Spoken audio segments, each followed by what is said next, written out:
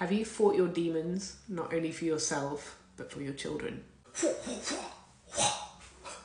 The reason for all the ninja moves, by the way, is because a couple of weeks ago I watched the film Dragon, which is the life story of Bruce Lee. If you haven't seen it, it's an amazing movie. So, if anyone hasn't heard about the, the weird sort of mysteries surrounding Bruce Lee, um, there was apparently a curse on the males within his family, which is why when he was a child, his dad named him a girl's name because there was apparently a family curse and demon that was um, terrorizing just the men within the family. And Bruce Lee was uh, said, as depicted in this movie, to have had visions of fighting a demon um, constantly throughout his adult life, within his dreams. Um, and sadly, he did die at a very young age of 32. Um, and it was quite uh, unexplained, obviously unexpected, because he was very fit and well. And some people believe that this was attributed to the demon. And then, of course, we have his son Brandon Lee, who sadly also died on the set while film- filming The Crow um, at the age of 28, uh, and it was a kind of freak accident. Um, they are remaking this uh, soon, which I'm kind of excited about. Um, but yeah, can't forget to mention him as well because he was also a male within the family, and again, some people believe that this was attributed to the family curse. But one of the scenes that really struck me within the film Dragon was when Bruce Lee went to see his old mentor. And his mentor was aware of the fights that he'd been having in his dreams with this demon.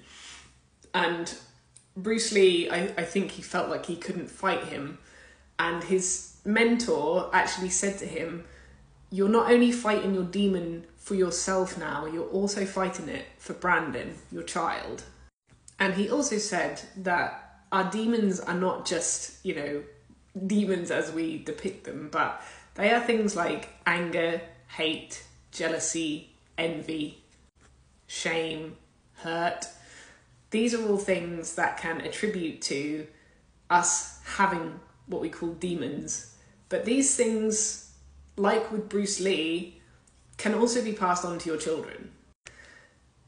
I think, like, when it comes to, to generational traumas, um, you know, things get passed down to your kids. There's no way around it. No child gets away with like not having any trauma, and you know, sometimes it can build resilience, and other times it can just cause like so many issues as an adult, and then obviously the adult child who has inherited the traumas then grows up to be an adult and has a child, and then that child then has more trauma that has been passed on through these generations.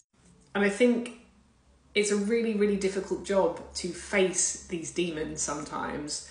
But when you have a child and when you bring a child into the world, like you have a responsibility for that child because that child is going to watch your every move. They're going to see your demons. They're going to see your ugly side. They're going to see, you know, your angry side. They're going to see your hate.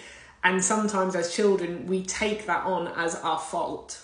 When I say we, obviously, we have all been children and we have all been affected by the demons of other people.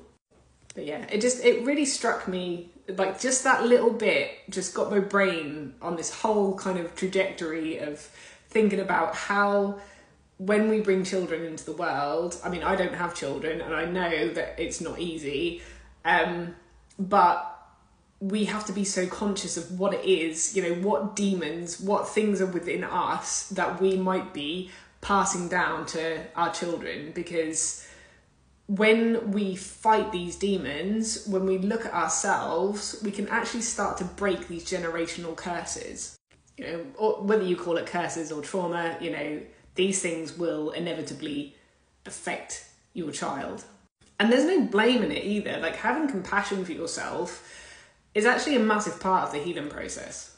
I just think if we if everybody if humans on a collective level start to like be really really mindful and conscious of what it is that we are like showing to our children then in a generation or two generations, we could like really have a powerful, you know, set of humans that are filled with self-love and not with demons. Anyway, I've rabbited on enough, I think, now, and if you're still here, like, listening to this, well done on you. But yeah, fighting demons, I think, is a massive, massive job, especially if you have children. Um, but I think it's such an important thing to do.